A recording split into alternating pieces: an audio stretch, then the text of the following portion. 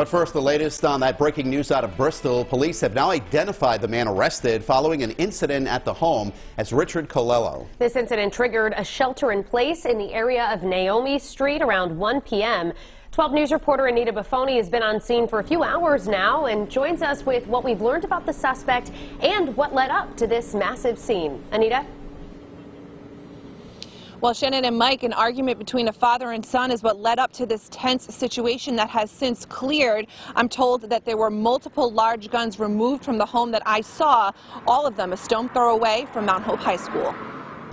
State and local police rushing to Naomi Street in Bristol Wednesday afternoon after a local man locked himself inside a home with multiple guns.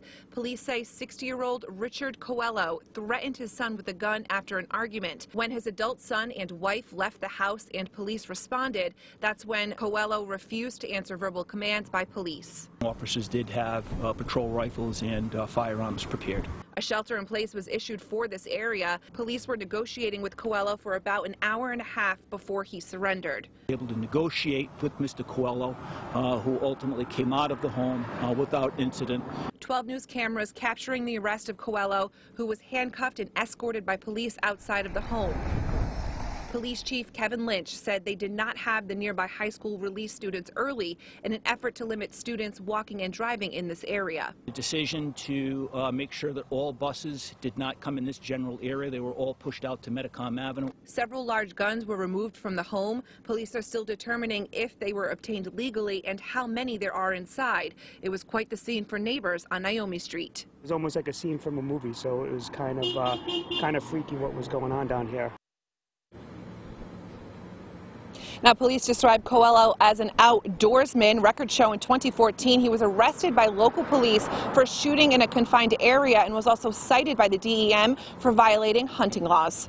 Live in Bristol, I'm Anita Baffoni, 12 News. First breaking news, we have new information on the man taken into custody following an incident at a Bristol home this afternoon. Police say the man got into an argument, then locked himself in a house on Naomi Street, not far from Mount, the Mount Hope High School. Police sent out a shelter-in-place alert for people nearby after learning there were several guns inside the home. 12 News reporter Anita Baffoni has been at the scene all afternoon and joins us live with an update. Anita? Well, Shannon and Mike, Richard Coelho was locked inside his home for nearly two hours before surrendering to police. I got word from police a short time ago that he is being charged tonight with felony domestic assault and disorderly conduct.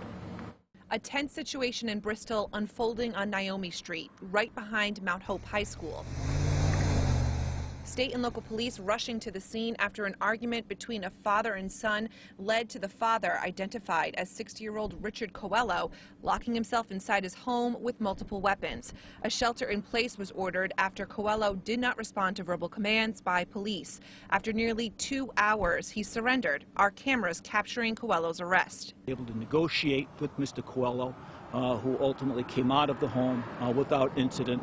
All of this happened across the street from Mount Hope High School's football field. Despite that, police did not order school be dismissed in order to limit activity in the area. Walkers were held. Parents had to be contacted so that we didn't have any uh, high school age children walking down. As you can see, we're on the grounds of the high school now. Multiple large guns were removed from the home. How many and whether they were obtained legally is still being determined. And it's not the first time police were called to that home.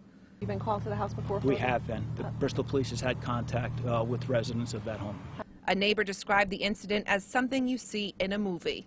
So he's a good guy. So um, it, it's too bad. I'm not sure what happened or you know what caused him to get to that level, but uh, it's too bad. So hopefully he can get the help that he needs.